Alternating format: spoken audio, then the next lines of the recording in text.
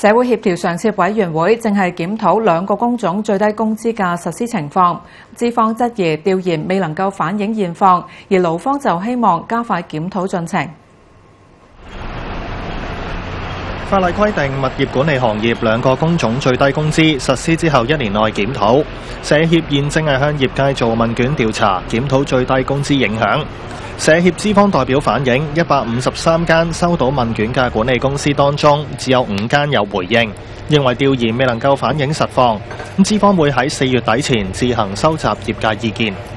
因為佢問卷咧，佢問到一啲公司裏邊嘅商業嘅秘密，咁所以啲公司咧係唔願意去就呢啲誒資料咧向政府誒誒表達。政府話最低工資實施至今，收到九宗嚟自兩個工種嘅投訴，都係關於加班補償又或者係解僱賠償，認為業界遵守最低工資法律。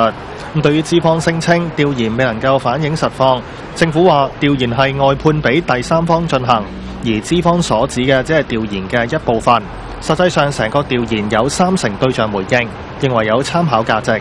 即係我哋政府都有外判一啲清潔保安使嗰啲誒，好似我哋一下樓下都有啲保安公司幫我哋噶嘛。咁呢啲咧，我哋透過誒、呃、政府機關去發啲問卷俾佢哋，一填翻俾我哋嘅。咁勞方代表亦都認為檢討可以反映現況，又希望加快檢討進程。金額上面需唔需要調整？